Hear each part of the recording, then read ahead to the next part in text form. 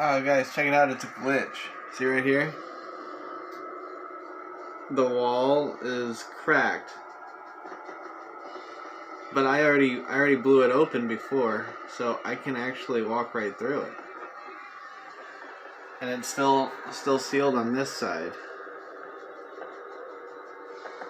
It's like, whoa man. It's like a glitch, man.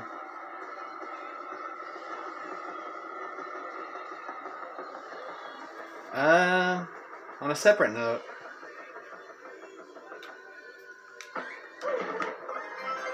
I don't want it. I have so many ultra shrooms.